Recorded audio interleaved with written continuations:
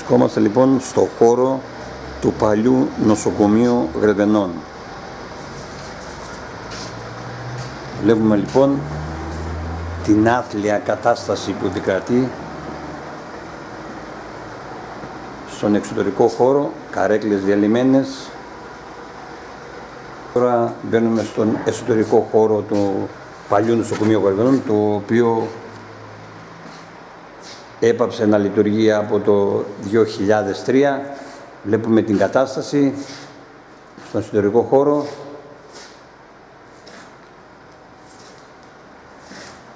Όλα διαλυμένα. Παρότι αρκετές φορές ορισμένοι πολιτικοί τόνισαν ότι θα αξιοποιηθεί το νοσοκομείο ως ψυχιατρική κλινική, αλλά δυστυχώς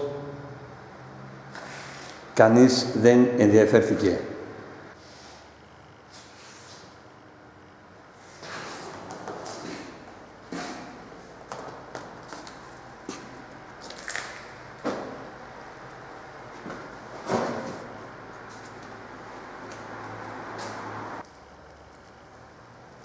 Έχουν κλαπεί και πάρα πολλά πράγματα, αλλά το βλέπουμε παλιό ουρολογικό.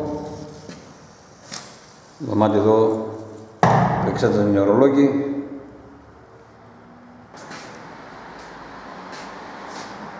Εδώ παλιά ήταν η γραμματεία.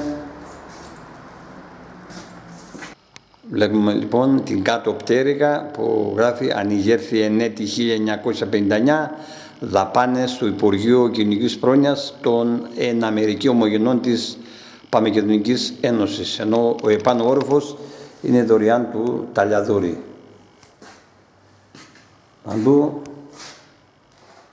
ρεμαγμένα.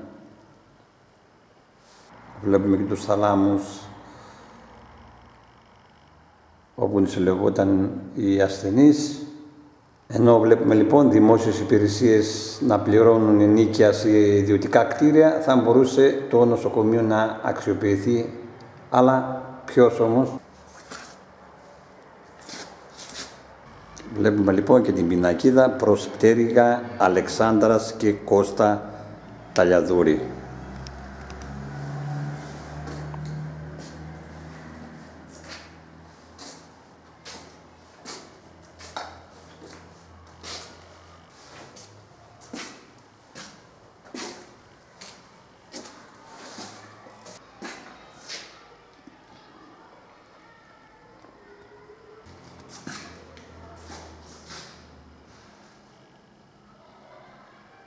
Έχουν καταστραφεί λοιπόν τα πάντα.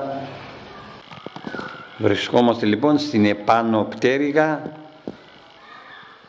όπου βλέπουμε και την πινακίδα κτίστηκε η πτέρυγα αυτή το 1976 με δωρεά Αλεξάνδρας και Κώστα Ταλιαδούρη. Είναι ο μόνος πολιτικός ο οποίος έκανε δωρεά. Δεν ξέρω, δεν θυμάμαι εγώ άλλον. Βλέπουμε εδώ λοιπόν την πτέρυγα που κτίστηκε το 1976. Ντροπιαστικές εικόνες που δεν μας τιμούν.